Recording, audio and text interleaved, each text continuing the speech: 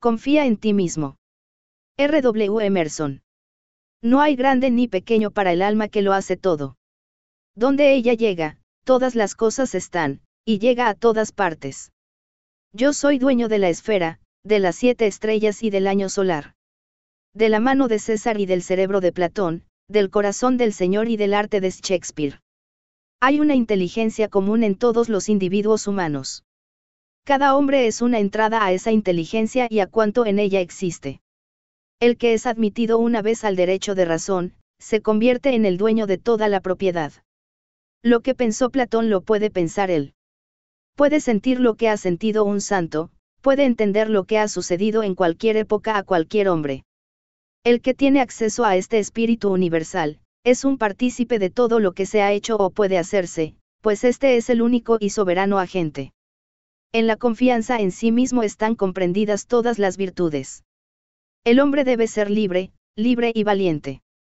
Libre hasta de la definición de libertad, sin impedimento alguno que no salga su propia constitución. Valiente, pues, el temor nace siempre de la ignorancia.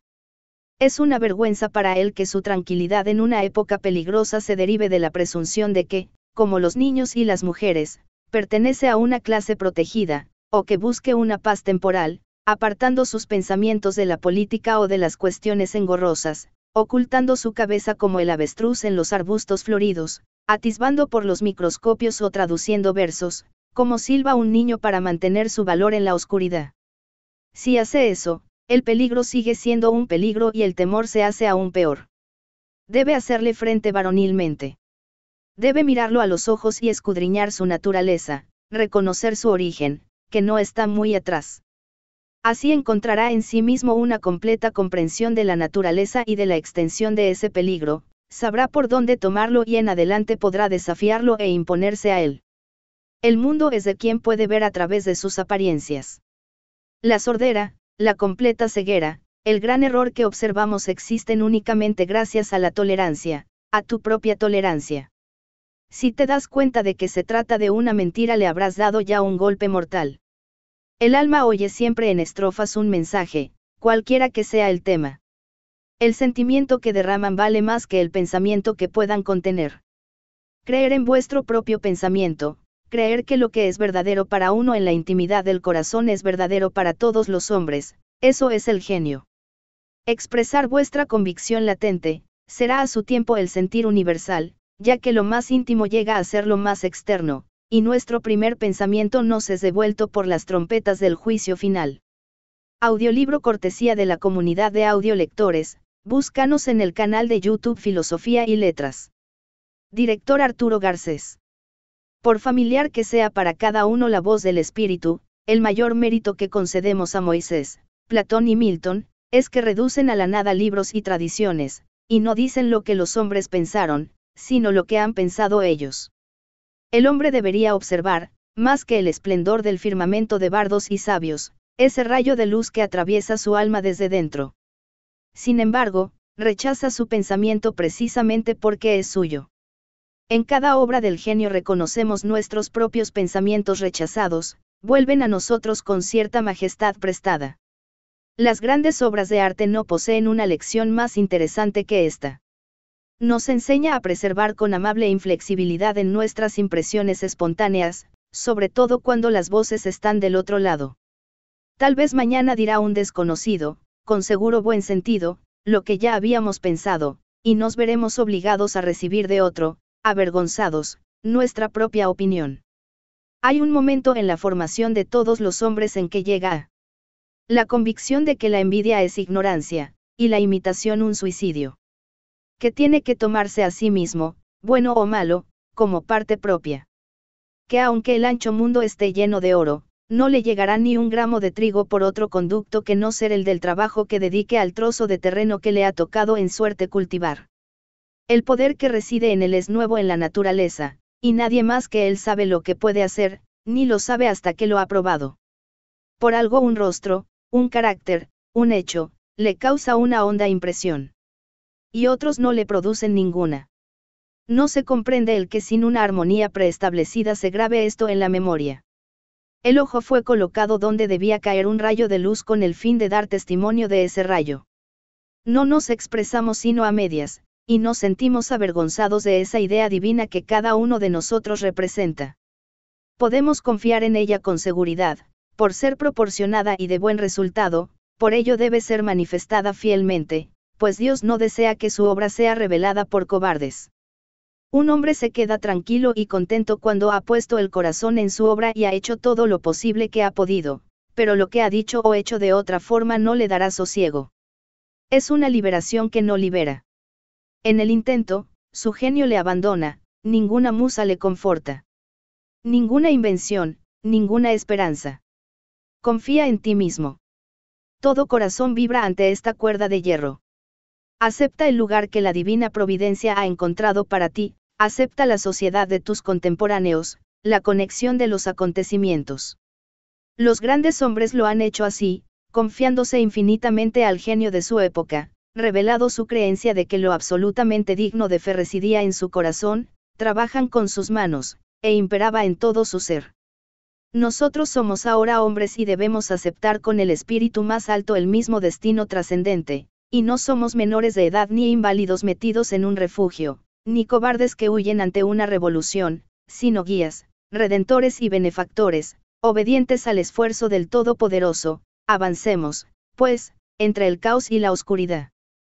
Qué magníficos oráculos nos ofrece la naturaleza en este texto, en la conducta y en el rostro de los niños, de las criaturas y los animales. Estos seres no tienen ese espíritu rebelde y dividido, esa desconfianza en un sentimiento, porque nuestra aritmética ha calculado la fuerza y los medios opuestos a nuestros fines. Su mente se halla aún entera, sus ojos no han sido dominados aún, y cuando miramos sus semblantes nos quedamos desconcertados.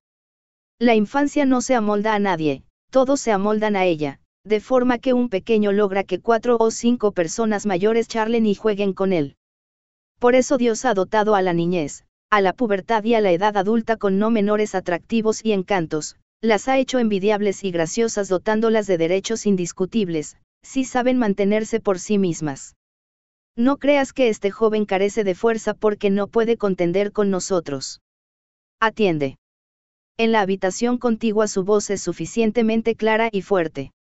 Parecen que sabe cómo ha de hablar a sus contemporáneos, sabrá la forma de convertirnos, luego, en personas mayores totalmente innecesarias. La indiferencia de los muchachos que están seguros de tener su comida y despreciarían tanto como olor del acero decir nada para atraer la benevolencia de nadie, es la actitud saludable de la naturaleza humana. Un muchacho está en un salón como una butaca en un teatro, independientemente, irresponsable, mirando desde su rincón las cosas y las personas que pasan ante su vista, las juzga y las sentencia conforme a sus méritos, del modo rápido y sumario de los muchachos, calificándolas de buenas, malas, interesantes, tontas, elocuentes o aburridas. No se doblega nunca ante las consecuencias ni ante los intereses, da un veredicto independiente y auténtico. Tendrás que hacerle la corte, él no te la hace. Pero el hombre está en el calabozo, digámoslo así, por su conciencia. Tan pronto como ha actuado o hablado de manera patente, se convierte en una persona comprometida, vigilada por la simpatía o el odio de centenares de seres, cuyas impresiones ha de tener en cuenta en adelante. Para esto no hay ningún leteo. Quien pueda de este modo evitar todos los lazos, y después de haber sido un observador observe de nuevo con la misma inocencia desapasionada, imparcial, incorruptible, impávida, tiene que ser siempre formidable. Expresará opiniones sobre todos los asuntos de actualidad, que, al verse que no son privadas, sino producto de la necesidad, se hundirán como dardos en los oídos de los hombres y les causarán un gran temor. Estas son las voces que oímos en la soledad, pero debilitan cuando entramos en el mundo. En todas partes la sociedad conspira contra la hombría de sus miembros. La sociedad es una compañía por acciones, cuyos miembros deciden sacrificar la libertad y la cultura del accionista para asegurar el pan de cada partícipe. La virtud más exigida es la conformidad. La confianza en sí mismo es su aversión. No quiere realidades ni creadores, sino nombres y usos. ¿Quién es y para qué sirve? Quien aspire a ser hombre tiene que ser no conformista. Quien desee ganar las palmas inmortales no debe detenerse ante el nombre del bien, debe de explorar si en efecto es el verdadero bien. Nada es sagrado, excepto la integridad de nuestra alma. Absuélvete tú mismo y tendrás el sufragio del mundo. Recuerdo una respuesta que, muy joven aún, tuve que dar a un consejero eminente que solía importunarme con las viejas doctrinas de la Iglesia. Al decirle, que me importa la santidad de las tradiciones, si vivo una vida completamente interior, me contestó, pero esos impulsos pueden venir de abajo y no de arriba. Yo le repliqué, no me parece que sea así, pero si soy hijo del diablo, viviré del diablo. Para mí no hay más ley sagrada que la de mi naturaleza. Bueno y malo no son sino nombres que pueden fácilmente transferirse de esto a lo otro, lo único recto es lo que resulta conforme a mi ser, lo único ilícito, lo contrario a él. El hombre debe conducirse en presencia de cualquier oposición, como si todas las cosas salvo él fueran efímeras y simples apariencias. Estoy avergonzado de ver con cuánta facilidad nos rendimos a símbolos y nombres, a grandes sociedades y a instituciones muertas. Cualquier hombre bien portado y bien hablado me impresiona más de lo debido. Necesito marchar rectamente, mostrar vitalidad y hablar siempre el rudo lenguaje de la verdad. Si la malicia y la vanidad visten el traje de la filantropía, lo dejaré pasar. Si un hipócrita irritado hace suya la hermosa causa de la abolición de la esclavitud y se acerca para comunicarme las últimas noticias de Barbados, ¿por qué no he de decirle, ve y ama a tu hijo, ama a tu leñador, sé bondadoso y modesto, hazme ese favor, y no disfraces nunca tu dura y poco caritativa ambición con esta increíble ternura por los negros que viven a miles de millas de distancia. Tu amor por lo distante no es más que despreocupación en tu país. Áspero y cruel sería este saludo. Pero la verdad es más hermosa que el fingimiento del amor. Vuestra bondad debe tener alguna espina, o no es nada. La doctrina del odio debe predicarse en oposición a la doctrina del amor cuando éste gime y lloriquea. Abandono padre, madre, esposa y hermano cuando mi genio me llama. Yo escribiría sobre el dintel de la puerta, capricho. Creo que en esto hay algo más que capricho, pero no podemos perder el tiempo en explicaciones. No esperes que te revele la causa del por qué busco o rehuyo de la sociedad.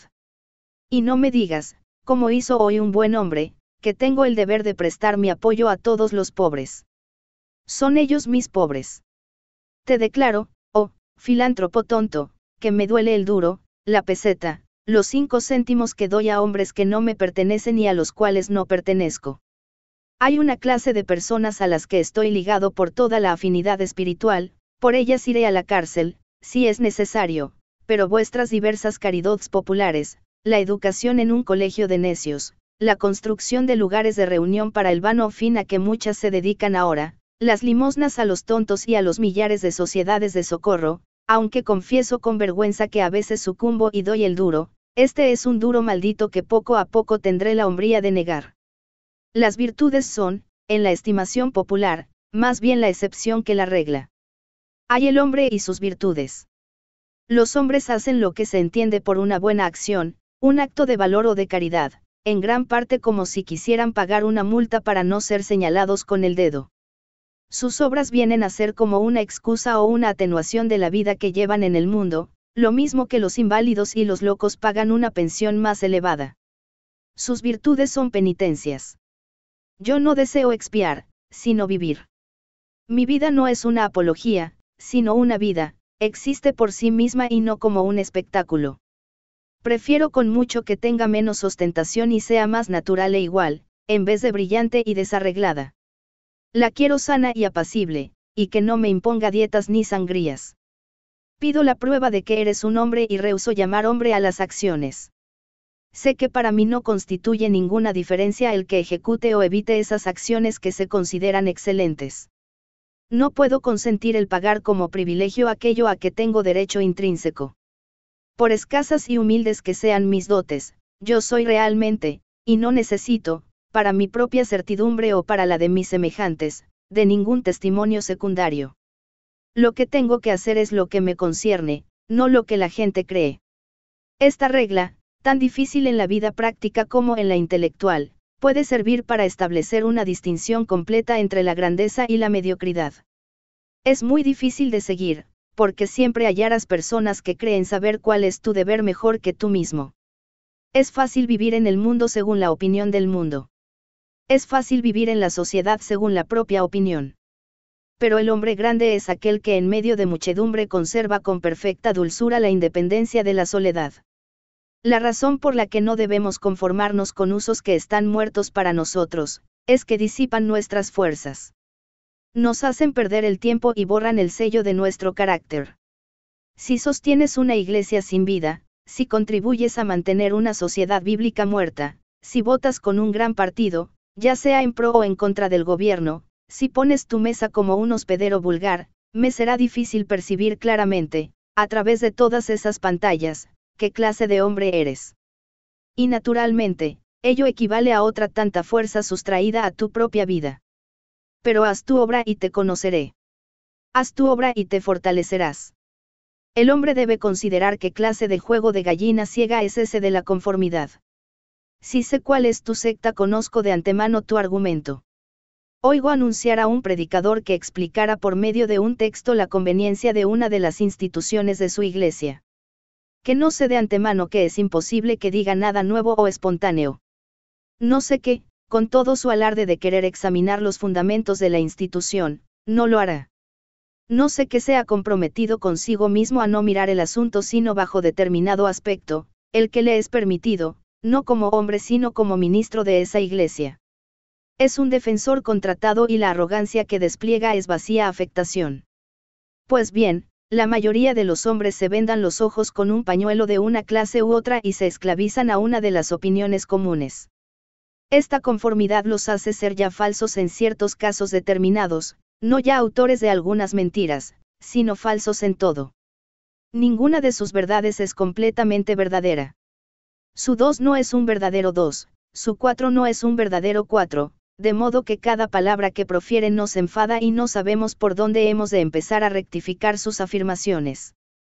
Por otra parte, la naturaleza no tarda en vestirnos de un uniforme carcelario del partido al que nos afiliamos. Llegamos a tener cierto corte de cara y cierta figura. Y a adquirir gradualmente la más hermosa expresión asnal. Hay un hecho, mortificante en lo particular, que no deja de cumplirse en la historia general. Me refiero a la estúpida cara del elogio, a la sonrisa forzada que fingimos en una sociedad donde no nos encontramos a nuestras anchas, para sostener una conversación que no nos interesa. Los músculos del rostro, movidos, no de modo espontáneo, sino por voluntad usurpadora, se ponen tirantes con la sensación más desagradable. Por la disconformidad el mundo te azota con su desagrado. Y, por consiguiente, el hombre debe saber cómo valorar una cara agria. Los espectadores le miran de soslayo en la plaza pública o en un salón amigo.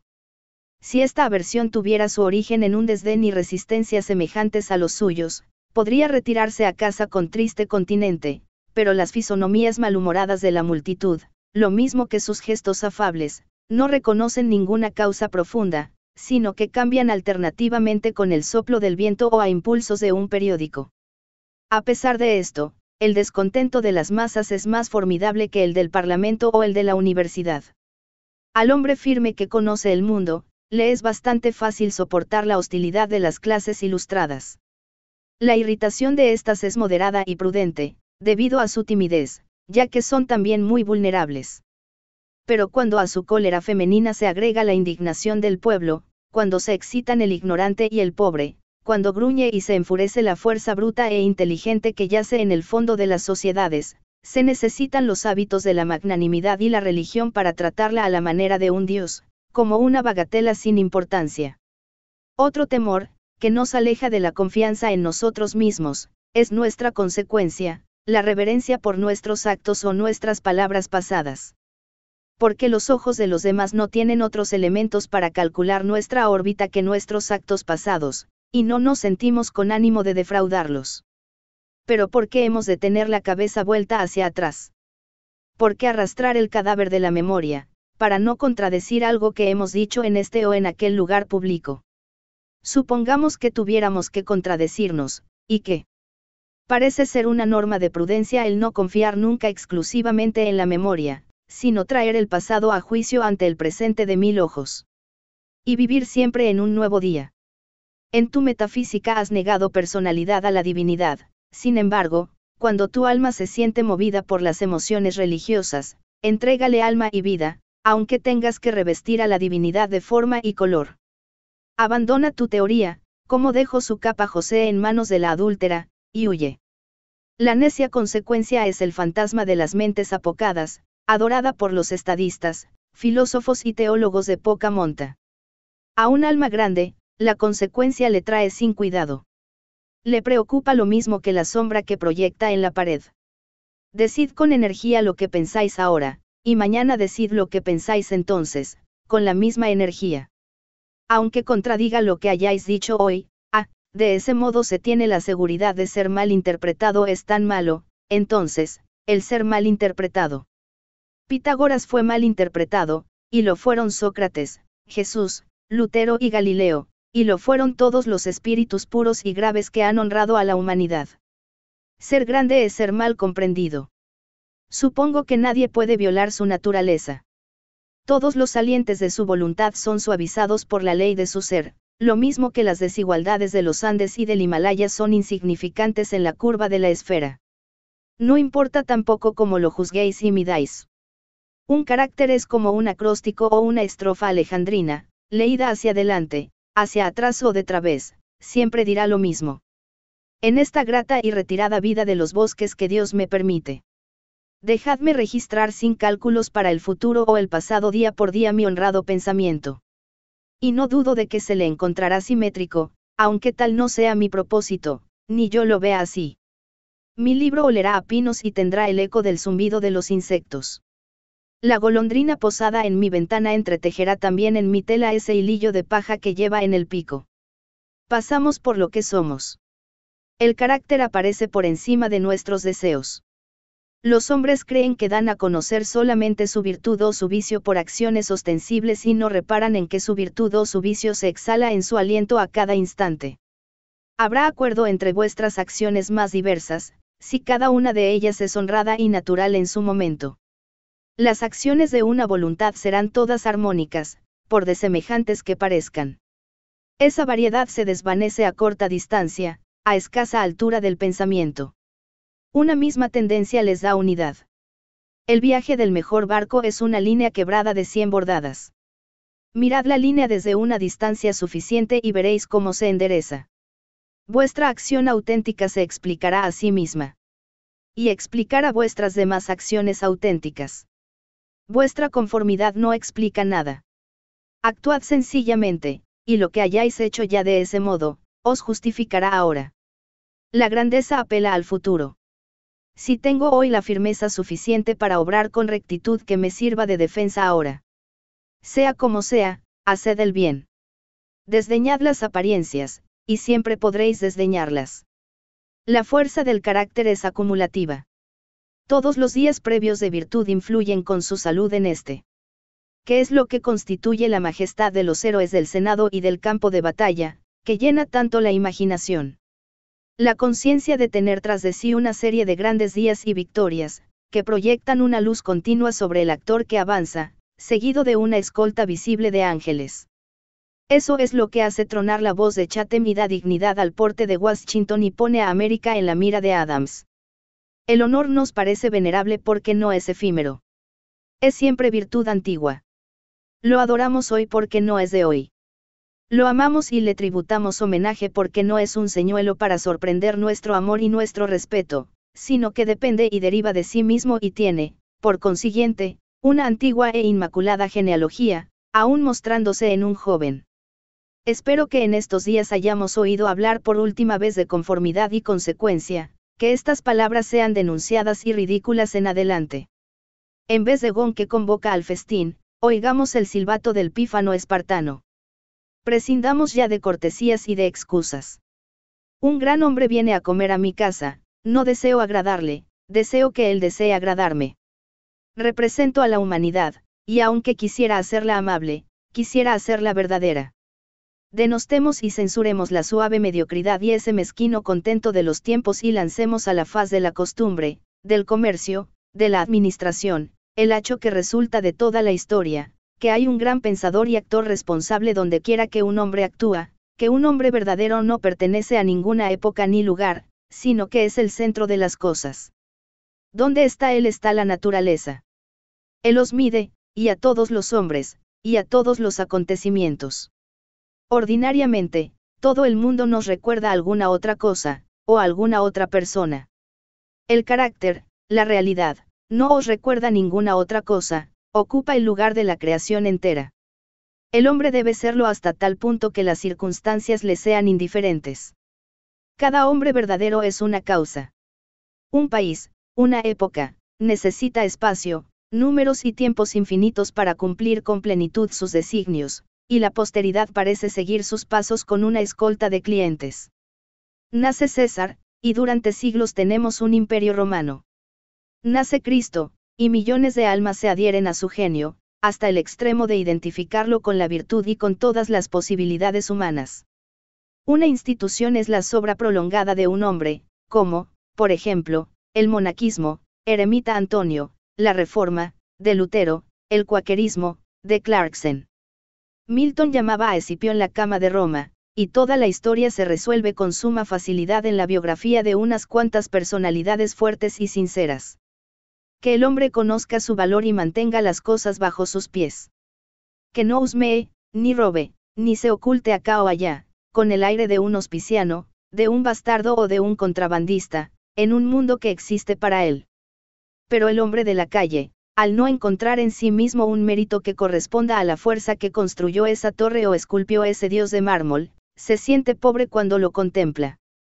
Para él, una estatua, un palacio o un libro precioso tienen un aire extraño y prohibitivo, muy semejante a una alegre comparsa, y parecen decirle de paso, ¿quién eres?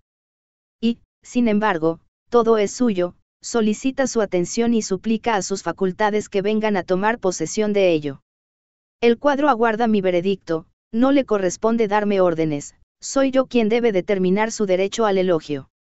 La fábula popular del tonto a quien recogen en la calle borracho perdido, lo llevan al palacio del duque, lo lavan y acuestan en el lecho de este, y cuando se despierta lo tratan con la misma obsequiosa ceremonia como si fuera el duque, y le aseguran que ha estado loco, debe su fama al hecho de simbolizar muy bien el estado del hombre, el cual es en el mundo una especie de imbécil, pero de tiempo en tiempo se despierta, ejercita su razón y se halla con que es un verdadero príncipe. Nuestra lectura es mendicante y aduladora. En historia nuestra imaginación nos engaña. Reino y señorío, poder y propiedad, son un vocabulario más pomposo que el particular de Juan y Eduardo en una casa pequeña y en su corriente tarea diaria, pero las cosas de la vida son las mismas para ambos, la suma total de ambos es la misma. ¿Por qué toda esa deferencia a Alfredo, y a Skanderberg, y a Gustavo? Supongamos que eran virtuosos, agotaron la virtud. Una apuesta tan grande depende de vuestro privado acto de hoy, como consecuencia de los pasos públicos y renombrados. Cuando los particulares obren con criterios originales, el brillo pasará de las acciones de los reyes a las de los hombres honestos. El mundo ha sido adoctrinado por sus reyes, que de este modo han magnetizado los ojos de las naciones. Ese colosal símbolo ha enseñado la mutua reverencia que el hombre debe al hombre. La gozosa fidelidad con que los hombres han soportado que el rey, el noble o el gran propietario pase en medio de ellos con su ley propia, que establezca su escala propia de los hombres y de las cosas y abata las aspiraciones de los otros, que paguen sus beneficios, no con dinero, sino con honores, y que encarnen la ley de su persona, fue el jeroglífico con que expresaron oscuramente la conciencia de su propio derecho y valer, el derecho de todo ser humano. El magnetismo que ejerce toda acción original se explica cuando nos preguntamos por la razón de la confianza en uno mismo. ¿Quién es el fiador? ¿Cuál es ese yo aborigen, en el que puede basarse una confianza universal? ¿Cuáles son la naturaleza y el poder de esa estrella que se burla de la ciencia, de esa estrella sin paralaje, sin elementos calculables, que lanza un rayo de belleza sobre las acciones triviales e impuras, si aparece la menor señal de independencia? La investigación nos lleva a esa fuente que es a la vez el origen del genio, de la virtud y de la vida, que designamos con el nombre de espontaneidad o instinto. Llamamos intuición a esta sabiduría primaria, mientras que todas las enseñanzas posteriores son aprendizaje. En esa fuerza profunda, hecho último ante el cual se detiene el análisis, está el origen común de todas las cosas. porque el sentimiento del ser, que en horas de calma surge en el alma, no sabe cómo, no es nada diferente de las cosas, del espacio, de la luz, del tiempo, del hombre, sino uno con ellos, y procede claramente del mismo material, de donde proceden también su vida y su ser. Primero compartimos la vida por la que las cosas existen y luego las vemos en la naturaleza como apariencias, y olvidamos que hemos sido partícipes de su causa. Aquí está la fuente de la acción y del pensamiento. Esos son los pulmones de esa inspiración que da al hombre la sabiduría, y que no puede negarse sin incurrir en impiedad o ateísmo. Reposamos en el seno de la inmensa inteligencia, que nos hace receptores de su verdad, y órganos de su actividad. Cuando discernimos la justicia y la verdad solo permitimos el paso a sus rayos. Si preguntamos de dónde viene esto, si tratamos de espiar esas causas en el alma, toda la filosofía falla. Lo único que podemos afirmar es su presencia o ausencia. Todos los hombres distinguen entre los actos voluntarios de su mente y sus percepciones involuntarias, y saben que deben prestar a estas últimas fe ciega. Podemos errar en la expresión de estas, pero sabemos que son así, y que como el día y la noche, no cabe discutirlas. Mis acciones y adquisiciones voluntarias no son sino cosas errabundas, pero el ensueño más ligero, la emoción nativa más débil, solicitan mi curiosidad y respeto. La gente insensata contradice con tanta facilidad el resultado de una percepción como el de una opinión, o quizá con más facilidad, pues no distinguen entre percepción e idea. Creen que depende de mi elección el ver esto o lo otro, y, con el tiempo, toda la humanidad aunque puede ocurrir que nadie lo haya visto antes que yo. Pues mi percepción de él es un hecho, tanto como lo es el sol. Las relaciones del alma con el espíritu son tan puras, que es una profanación el tratar de buscar intermediarios. Tiene que ser que cuando Dios hable debe comunicar, no una cosa, sino todas las cosas, llenará el mundo con su voz, esparcirá la luz, la naturaleza, el tiempo, las almas, desde el centro del pensamiento actual, y fechará y creará el mundo de nuevo. Siempre que un alma es sencilla y recibe la sabiduría divina, las cosas viejas se disipan, medios, maestros, textos, templos, caen. Vive ahora y absorbe pasado y futuro en la hora presente. Todas las cosas se hacen sagradas con relación a esto, tanto una como otra. Todas son disueltas hasta su centro por su causa y, en el milagro universal, todos los milagros particulares y minúsculos desaparecen. Por lo tanto, si un hombre pretende conocer a Dios y hablar de él, y os hace retroceder a la fraseología de alguna vieja nación destruida, de otro país, de otro mundo, no le creáis. Vale más la bellota que el roble, que es su plenitud y perfección. Vale más el Padre que el Hijo, en el que ha vertido su ser maduro. Porque, entonces, este culto al pasado. Los siglos conspiran contra la salud y la autoridad del alma. El tiempo y el espacio no son sino colores fisiológicos que el ojo hace, pero el alma es luz, donde está, es de día, donde estuvo, es de noche. Y la historia es una impertinencia y una injuria si se la considera como algo más que una parábola o un epílogo agradable de mi ser y de lo que voy a ser. El hombre es tímido y tiende a disculparse, no obra rectamente, no se atreve a decir, pienso, soy, sino que cita a algún sabio o santo. Se avergüenza ante la brisna de la hierba o ante la rosa que florece. Estas rosas que se hallan bajo mi ventana no hacen ninguna referencia a unas rosas anteriores o mejores, son lo que son, existen hoy con Dios. Para ellas no hay tiempo. Hay simplemente la rosa, es perfecta en cada momento de su existencia.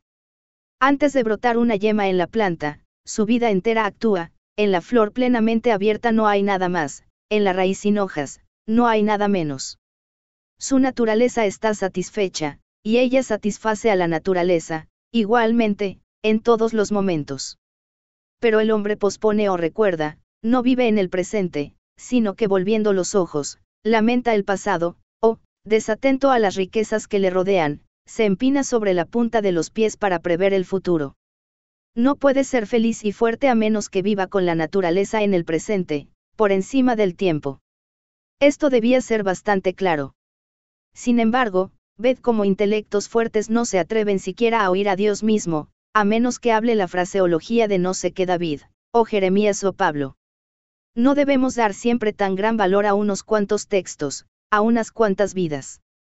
Son como niños que repiten de memoria las máximas de las abuelas y preceptors, y, al ir teniendo más años, las de los hombres de talento y carácter que hemos conocido, esforzándonos por recordarlas al pie de la letra, después cuando la vida nos depara el punto de vista de los que profirieron tales frases, comprendemos su sentido y nos sentimos dispuestos a olvidar las palabras, pues, en cualquier momento, podemos emplear palabras tan buenas cuando surja la ocasión. Si vivimos verdaderamente seremos la verdad. Es tan fácil para el fuerte ser fuerte, como para el débil ser débil. Cuando tengamos percepciones nuevas, descargaremos satisfechos la memoria de sus tesoros amontonados, como brosa inútil. Cuando un hombre vive con Dios, su voz suena tan dulce como el murmullo del arroyo y el crujir del trigo. Por último, nos queda por decir ahora sobre esta cuestión la verdad más alta, probablemente no pueda decirse, pues cuanto decimos no es más que una lejana remembranza de la intuición. Este pensamiento, con el que puedo ahora aproximarme más a decirla, es este, cuando el bien está cerca de ti. Cuando tienes vida en ti mismo, no es gracias a formas conocidas o usuales.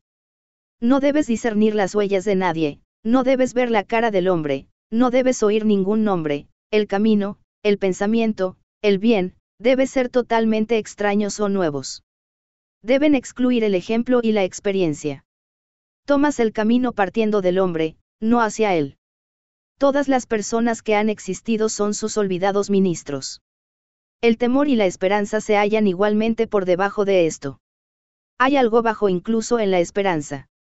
En la hora del avisón, no hay nada que pueda llamarse gratitud, ni propiamente alegría. El alma elevada por encima de la pasión contempla la identidad y la casualidad eterna, percibe la existencia propia de la verdad y de lo recto, y se calma al saber que todo marcha bien. Nada importan los vastos espacios de la naturaleza, el océano Atlántico, el mar del sur, los largos intervalos de tiempo, los años, los hilos. Esto que pienso y siento sirve de soporte a todos los estados de la vida y a todas las circunstancias del pasado, lo mismo que yace bajo mi presente y bajo lo que se llama vida y bajo lo que se llama muerte. Solo la vida importa, no el haber vivido. La fuerza cesa en el instante del reposo. Reside en el momento de transición de un estado pasado a un estado nuevo. En el paso del abismo, en el disparo a un blanco. El mundo odia un hecho, el de que el alma vaya a ser, pues eso rebaja para siempre el pasado, convierte todas las riquezas en pobreza, toda la reputación en deshonor, confunde al santo con el bribón, descarta a la vez a Judas y a Jesús. Porque, entonces, hablamos de confianza en uno mismo. Donde quiera que el alma esté presente, habrá una fuerza, no segura, sino actuante. Hablar de confianza es una pobre y externa manera de hablar. Hablad más bien de eso en que se confía, porque obra y es. Quien tenga más obediencia que yo es mi maestro, aunque no levante el dedo. Tengo que girar alrededor de él por la ley de gravitación de los espíritus. Creemos que se trata de retórica cuando hablamos de virtud eminente. No vemos todavía que la virtud es altura y que un hombre o que un grupo de hombres, blandos y permiebles a los principios, deben, por la ley de la naturaleza, dominar y dirigir a todas las ciudades, naciones, reyes, a los ricos, a los poetas, que no tienen aquella cualidad. Este es el último hecho al que llegamos en esta cuestión tan rápidamente como en todas, la resolución del todo en el siempre bienaventurado uno. La existencia por sí es el atributo de la causa suprema y constituye la medida del bien en el grado en que entra en todas las formas inferiores. Por esta razón todas las cosas reales lo son en la medida de la virtud que contenga. El comercio, la elocuencia, el valor personal, son algo y se atraen mi respeto como ejemplos de su presencia e impura acción veo que la misma ley trabaja en la naturaleza en favor de la conservación y del crecimiento. La fuerza es en la naturaleza la medida esencial de la licitud. La naturaleza no soporta que se mantenga en sus reinos nada que no pueda ayudarse a sí mismo. La génesis y maduración de una planta, su peso y su órbita, los árboles inclinados por el temporal, irguiéndose de nuevo, los recursos vitales de todo animal y de toda planta, son demostraciones del alma que se basta a sí misma y, por consiguiente, que confía en sí misma. Así, todo se concentra. No erremos como vagabundos, quedémonos en casa con la causa. Hagamos callar o confundamos la impertinente algarabía de hombres, libros e instituciones, con una sencilla declaración de hecho divino. Ordenemos a los invasores que se quiten los zapatos, porque Dios está aquí dentro. Que nuestra sencillez los juzgue y que nuestra docilidad a nuestra propia ley demuestre la pobreza de la naturaleza y de la fortuna, al lado de nuestras riquezas nativas. Pero ahora somos un populacho. El hombre no siente temor ante el hombre, ni su genio es amonestado para que se quede en casa, para que se ponga en comunicación con el océano interno, sino que se marcha a la calle a mendigar una copa de agua de las ánforas de los otros hombres. Tenemos que marchar solos. Prefiero la iglesia silenciosa antes de comenzar los oficios, mejor que cualquier sermón. Qué lejanas, serenas, castas parecen las personas, rodeadas por un recinto o santuario. Estemos siempre así. ¿Por qué tenemos que cargar con las culpas de nuestro amigo, o esposa, o padre, o hijo, porque se sienten alrededor de nuestro fuego, o se diga que tenemos la misma sangre? Todos los hombres tienen mi sangre y yo tengo la suya. Tampoco adoptaré por eso su petulancia o su necedad, hasta el extremo, incluso, de tener que avergonzarme de ellas. Sin embargo, nuestro aislamiento no debe ser mecánico, sino espiritual, es decir, tiene que ser elevación. De cuando en cuando, el mundo entero parece conspirar para importunarme con pomposas fruslerías. Amigos, clientes, hijos, enfermedades, temor, necesidad, caridad, llaman a la vez a tu puerta y dicen, ven con nosotros. Pero conserva tu estado, no te mezcles con su confusión. El poder que tienen los hombres para molestarme, se lo doy yo con una débil curiosidad. Nadie puede acercarse a mí sin la complicidad de un acto mío. Lo que amamos, eso tenemos, pero con el deseo nos privamos del amor. Si no podemos de una vez elevarnos a las santidades de la obediencia y de la fe, resistamos al menos nuestras tentaciones. Entremos en guerra y despertemos a Thor y a Wotan, el valor y la constancia, en nuestros pechos sajones. Esto ha de hacerse en nuestros tiempos pacíficos y diciendo la verdad. Reprimid esta falsa hospitalidad y el falso efecto. No viváis para seguir satisfaciendo lo que esperan de vosotros esas gentes engañadas y engañosas con que nos relacionamos. Decidles, oh padre, oh madre, oh esposa, oh hermano, oh amigo, hasta aquí he vivido con vosotros, conforme a la apariencia. De aquí en adelante, pertenezco a la verdad. Que se sepa que de ahora en adelante no obedeceré más ley que la eterna. No quiero tener convenios, sino vecindades. Trataré de alimentar a mis padres, de sostener a mi familia, de ser el marido fiel de una mujer, pero estas obligaciones las cumpliré de un modo nuevo y sin precedentes. Me aparto de vuestros usos. Tengo que ser yo mismo. No puedo quebrantarme más por ti. Si podéis amarme por lo que soy, seremos más felices. Si no podéis, trataré sin embargo de merecer que me améis. No ocultaré mis gustos y mis aversiones. Confío tanto en que todo lo que es profundo es santo, que ejecutaré sin vacilar cuanto me alegra íntimamente, y el corazón me manda. Si sois nobles, os amaré, si no lo sois, no os deshonraré ni me deshonraré a mí mismo con hipócritas atenciones. Si sois sinceros, pero no interpretáis la verdad como yo, uníos a vuestros compañeros, yo buscaré los míos, no obro de este modo por egoísmo, sino humilde y sinceramente. Es vuestro interés y el mío y el de todos los hombres vivir en la verdad, aunque hayamos sido mucho tiempo esclavos de la mentira. ¿Os suena esto duramente hoy? Pronto amaréis lo que prescribe vuestra naturaleza, lo mismo que la mía, y si seguimos a la verdad, ella nos llevará al lugar seguro. Pero de ese modo podéis causar dolor a estos amigos. Sí, pero yo no puedo vender mi libertad y mi poder para ahorrarles ese dolor. Además, todas las personas tienen horas de lucidez cuando se elevan a la región de la verdad absoluta, entonces me darán la razón y me imitarán.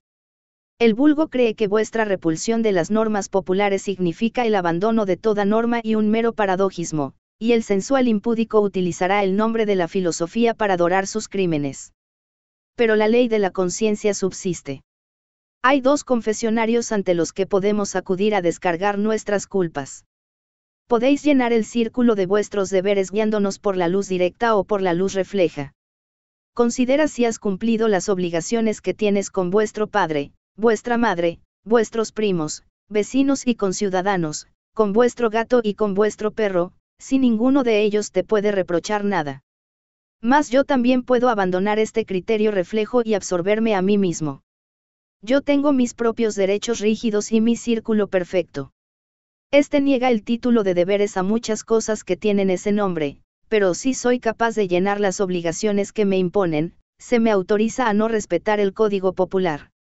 Si alguien imagina que esta ley es laxa, que obedezca su mandato un día. Y verdaderamente exige algo de divino en el hombre que ha desechado los motivos comunes de la humanidad y se ha aventurado a confiar en sí mismo como maestro. Su corazón tiene que ser elevado, fiel su voluntad, clara su vista, para que pueda seriamente ser doctrina, sociedad y ley para sí mismo, para que un simple propósito pueda ser para él tan fuerte como una necesidad férrea lo es para otros. Si alguien observa el aspecto actual de lo que se llama sociedad, comprenderá la necesidad de tal moral. No parece sino que se ha extraído el nervio y el corazón del hombre y que nos hemos convertido en seres gimoteantes y desalentados. Tenemos miedo a la verdad, a la fortuna, a la muerte, y miedo unos a otros. Nuestra época no produce individuos grandes y perfectos. Nos hacen falta hombres y mujeres que renueven la vida y nuestro estado social. Pero vemos que la mayor parte de las naturalezas son insolventes, que no pueden satisfacer sus propias necesidades, que su ambición no guarda proporción con sus fuerzas, y se humillan y mendigan continuamente, noche y día. Recibimos de limosna nuestras provisiones, no somos lo que elegimos, la sociedad elige por nosotros nuestras artes, nuestras ocupaciones, nuestros matrimonios, nuestra religión. Somos soldados de parada. Huimos de la ruda batalla de la suerte, donde surge la fuerza. Si nuestros jóvenes no aciertan en sus primeras empresas, pierden todo ánimo. Si un joven comerciante fracasa, la gente dice que está arruinado. Si el genio más brillante estudia en uno de nuestros colegios y al año siguiente no está colocado en una oficina en las ciudades o arrabales de Boston o Nueva York, les parece a sus amigos y a él mismo que tiene motivos para sentirse desalentado y para estarse lamentando el resto de su vida. El mozo resuelto de New Hampshire o Vermont, que ensaya sucesivamente todas las profesiones, que es gañan, colono, buonero, que monta una escuela, predica, edita un periódico, va al Congreso, compra unos terrenos públicos, y así sucesivamente, y cae siempre de pie, como un gato, vale por cien de estos muñecos de ciudad. Marcha de frente con su época y no se avergüenza de no haber estudiado una profesión, pues no deja su vida para después, sino que vive ya. No tiene una sola oportunidad, sino cientos de ellas.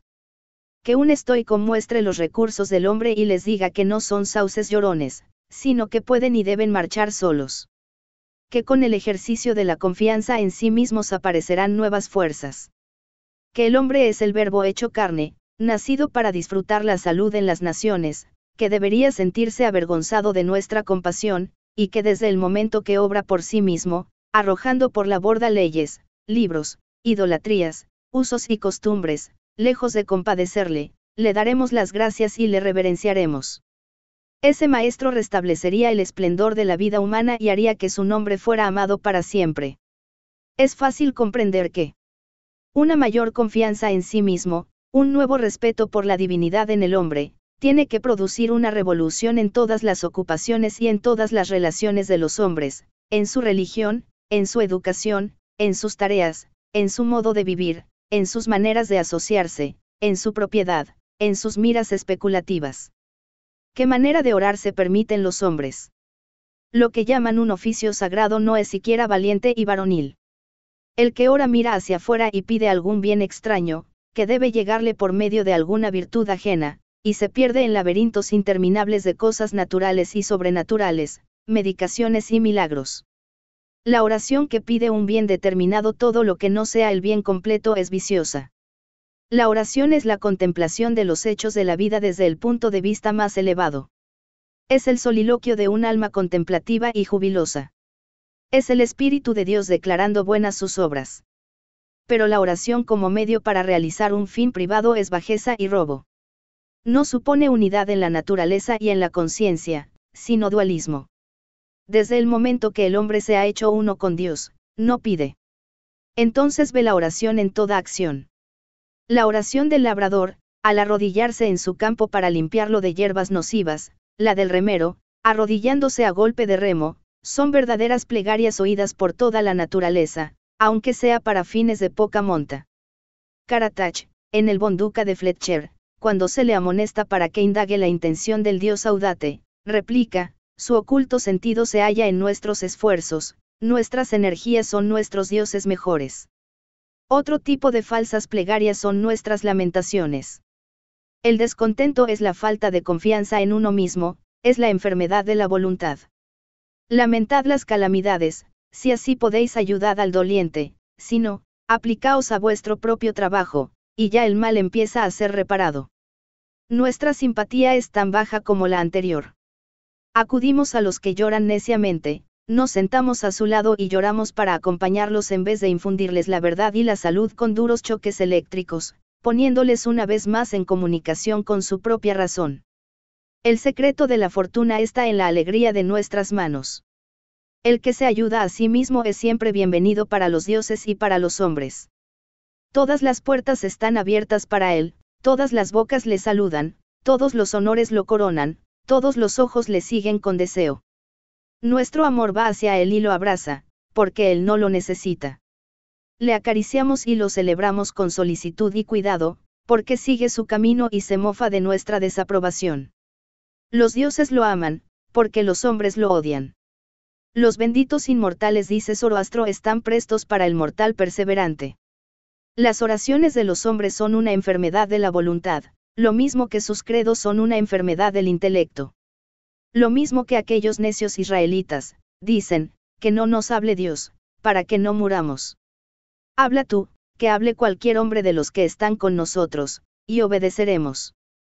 En todas las partes me veo con la imposibilidad de encontrar a Dios en mi hermano, porque éste ha cerrado las puertas de su propio templo y recita fábulas que son meramente las del Dios de su hermano, o del Dios del hermano del hermano. Cada nuevamente es una nueva clasificación. Si esta nuevamente resulta una mente de actividad y fuerza no comunes, un lac, un Levuasia, un Uton, un Bentham, un Furia, impone su clasificación a los demás hombres, y ahí tenemos un nuevo sistema.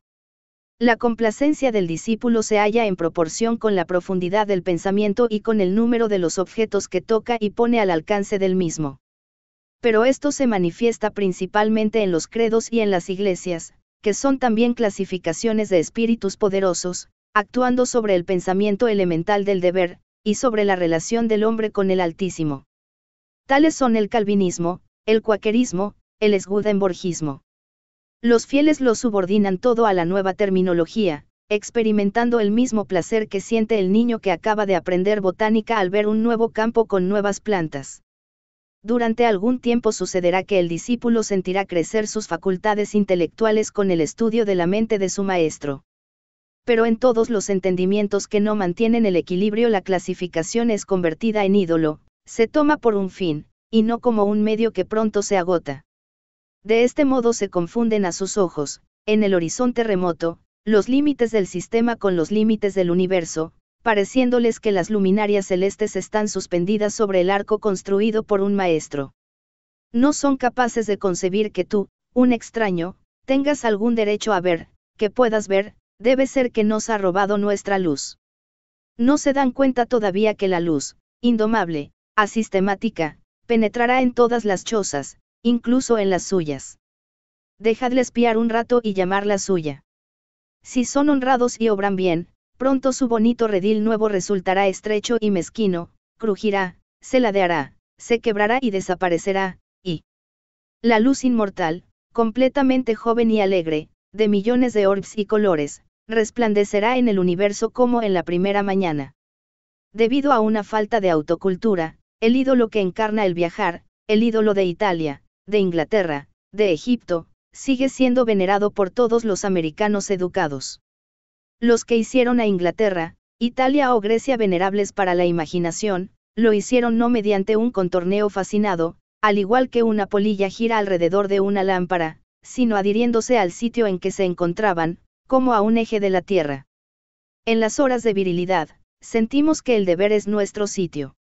El alma no es un viajero, el hombre prudente permanece en casa y cuando sus necesidades, sus obligaciones, le sacan de ella o le llevan a suelo extranjero, sigue en casa todavía, y los hombres leen en la expresión de su semblante que va como misionero de la virtud y de la sabiduría, y visita ciudades y gentes como un soberano y no como un contrabandista o un criado.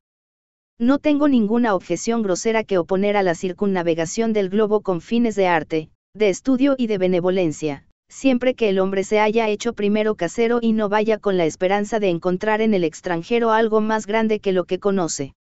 El que viaja para entretenerse o para conseguir algo que no lleva consigo, viaja de sí mismo y se envejece, aunque sea joven, entre cosas viejas.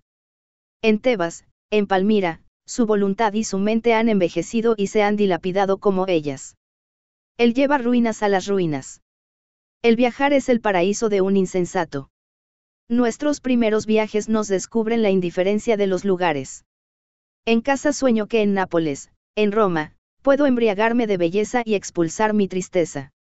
Hago mi baúl, abrazo a mis amigos, me embarco, y, al fin, despierto en Nápoles y surge ante mí el mismo hecho severo, el triste yo, implacable, idéntico, de que quise huir. Busco el Vaticano y los palacios. Simulo una embriaguez de vistas y sugestiones, pero no estoy embriagado. Mi coloso va conmigo a todas partes pero el ansia de viajar es síntoma de un mal más profundo que afecta a toda la acción intelectual. El intelecto es vagabundo y nuestro sistema educativo alimenta la inquietud. Nuestras mentes viajan cuando nuestros cuerpos se ven obligados a permanecer en casa. Imitamos, ¿y qué es la imitación sino el viajar de la mente?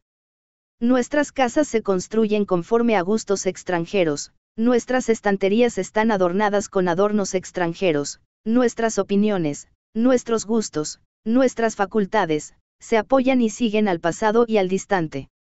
El alma creó las artes donde quiera que han florecido. Era en su propia mente donde el artista buscaba su modelo. Era una aplicación de su pensamiento a la cosa que había de ejecutarse y a las condiciones que debía cumplir. ¿Y qué necesidad tenemos de copiar el modelo dórico o el jónico? La belleza, la oportunidad, la grandeza de pensamiento, la expresión justa, están a nuestro alcance, lo mismo que al de cualquier otro, y si el artista estudia con esperanza y amor lo que ha de hacer, si tiene en cuenta el clima, el suelo, la duración del día, las necesidades de las gentes, las costumbres y la forma de gobierno, creará una cosa que reúna todas las condiciones apetecidas y satisfaga a la par el gusto y el sentimiento. Afirmad vuestra personalidad, no imitéis jamás. Nuestras facultades pueden mostrarse a cada paso con una fuerza acumulada por el ejercicio de toda una vida. Pero de la habilidad tomada de otro no tenéis sino una posesión extemporánea, una semiposesión. Lo que cada cual puede hacer mejor, nadie excepto su hacedor, puede enseñárselo. Nadie sabe lo que eres, ni puede saberlo, hasta que lo hayas mostrado. ¿Dónde está el maestro que enseñó a Shakespeare? ¿Dónde el que enseñó a Franklin? A Washington, a Bacon, a Newton. Todo gran hombre es único. El escipionismo de Escipión es precisamente lo que no podía tomar de otro. No se hará nunca un Shakespeare mediante el estudio de Shakespeare. Haced lo que os ha sido asignado, y no podréis esperar demasiado ni atreveros demasiado. Hay para ti en este momento una posibilidad de expresión tan valiente y grande como la del colosal cincel de Fidias, o la de la llana de los egipcios, o las de las plumas de Moisés o Dante, pero distinta de todas ellas. No es posible que se digne repetirse el alma soberanamente rica, elocuente, con sus mil lenguas, mas, si podéis decir lo que dijeron los patriarcas, seguramente podéis contestarles en el mismo tono, porque el oído y la lengua son dos órganos de idéntica naturaleza. Mora en las regiones simples y nobles de tu vida, obedécete a ti mismo, reproducirás el antemundo de nuevo. Lo mismo que nuestra religión, nuestra educación y nuestro arte miran al exterior, también ocurre cosa igual con nuestro espíritu de sociedad. Todos los hombres se jactan del mejoramiento de la sociedad y ninguno se hace mejor. La sociedad no avanza nunca. Retrocede tan pronto por un lado como avanza por el otro. experimente continuos cambios, es bárbara, civilizada, cristianizada, rica, científica, pero estos cambios no son mejoramientos. Por todo lo que se obtiene hay que dar algo. La sociedad se enriquece con artes nuevas y pierde viejos instintos. Qué contraste entre el americano bien vestido que lee, escribe, piensa, lleva en el bolsillo un reloj, un lápiz y una letra de cambio, y el desnudo habitante de Nueva Zelanda, cuya propiedad se reduce a una tranca, una lanza, una esterilla y un rincón en una choza sin divisiones pero comparad la salud de ambos y veréis que el blanco ha perdido su fuerza primitiva. Si los viajeros dicen la verdad, dad un fuerte tajo a un salvaje y la carne se le unirá y cicatrizará en uno o dos días, como si hubieseis descargado el golpe en una mesa de brea, mientras una herida parecida llevará al blanco al cementerio. El civilizado construye carruajes, pero ha perdido el uso de los pies. Se apoya en muletas, pero en la misma medida ha perdido el vigor de los músculos. Lleva un hermoso reloj de Ginebra, pero ya no sabe averiguar la hora valiéndose del sol. Puede consultar el almanaque náutico de Greenwich y estar seguro de encontrar todas las noticias que precisa, pero no conoce ninguna de las estrellas del cielo. No observa el solsticio y sabe muy poco del equinoccio. Todo el brillante calendario del año no tiene un cuadrante en su mente. Su agenda debilita su memoria, las bibliotecas abruman su ingenio, los seguros aumentan los accidentes. Y cabe preguntarnos si las máquinas no nos embarazan demasiado. Si no hemos perdido la energía con el refinamiento, y algo de vigor de la virtud primitiva con el cristianismo atrincherado en las formas y en las instituciones, porque cada estoico era un estoico, pero en la cristiandad, ¿dónde está el cristiano? No hay una desviación mayor en el tiempo moral que en la altura o en el volumen. Ahora no hay hombres más grandes que los que ha habido siempre. Puede observarse una singular igualdad entre los hombres eminentes de la antigüedad y los de los últimos tiempos. Y toda la ciencia, el arte, la religión y la filosofía del siglo XIX no sirven para educar hombres más grandes que los héroes de Plutarco, hace 23 o 24 siglos. No progresa la raza con el tiempo. Fación, Sócrates, Anaxágoras, Diógenes, son grandes hombres pero no fundan una clase social. El que pertenece realmente a la clase de ellos no quiere ser llamado con su nombre, sino que se bautizará a sí mismo y será a su vez el fundador de una secta. Las artes e inventos de cada época no son más que el traje de las mismas, pero no vigoriza al hombre. El daño que causan las máquinas perfeccionadas acaso compensará los bienes que producen. Hudson y Bering realizaron tantas cosas con sus barcos de pesca como para asombrar a Perry y a Franklin, cuyo equipo agotó los recursos de la ciencia y el arte. Galileo descubrió con un anteojo de teatro una serie de fenómenos celestes más espléndida que cualquier otro después de él. Colón encontró el nuevo mundo navegando en una carabela. Es curioso ver cómo caen en desuso y se olvidan periódicamente medios y máquinas, introducidas con clamor de elogios hace unos años o unos siglos. El gran hombre retorna al hombre esencial. Contamos los progresos del arte bélico entre los triunfos de la ciencia y, sin embargo, Napoleón conquistó a Europa con el sistema de vivac, que consiste en apoyarse solamente en el valor, exento de toda ayuda.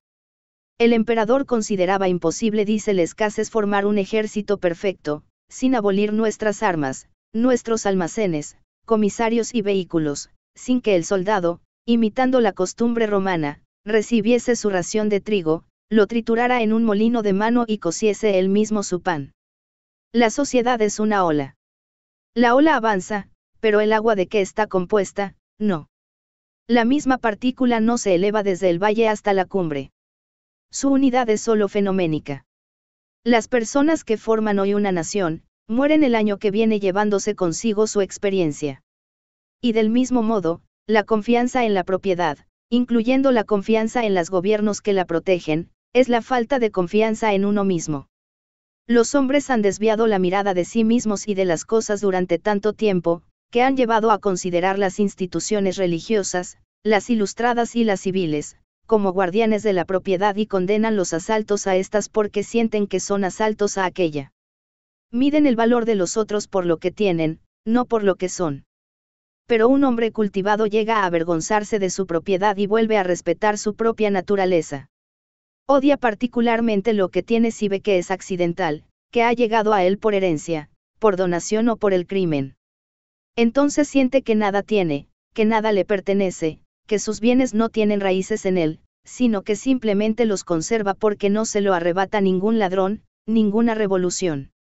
Pero la naturaleza del hombre necesita siempre adquirir, y lo que adquiere es propiedad viva.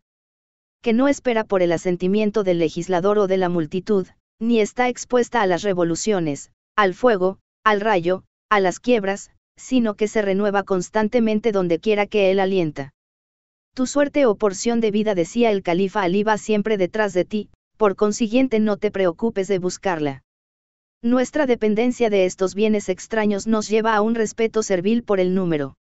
Los partidos políticos celebran asambleas numerosas, y a medida que aumenta la concurrencia, a cada nuevo contingente que se anuncia, la delegación de Essex, los demócratas de New Hampshire, los liberales de Maine, el joven patriota se siente más fuerte que antes por un nuevo millar de ojos y de brazos.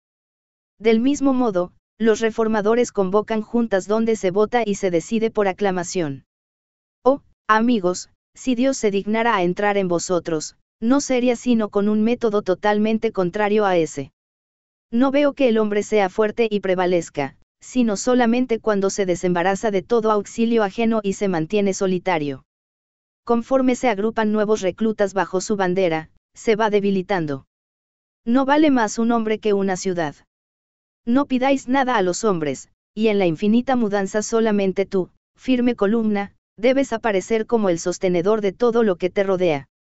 El que sabe que el poder es innato, que él es débil porque ha buscado el poder fuera de sí mismo y en otras partes, dándose cuenta de ello, se aferra sin vacilar a su pensamiento, yérguese en el acto, permanece en posición firme, ordena a sus miembros, hace milagros, exactamente lo mismo que el que se apoya en los pies es más que el que se apoya en la cabeza.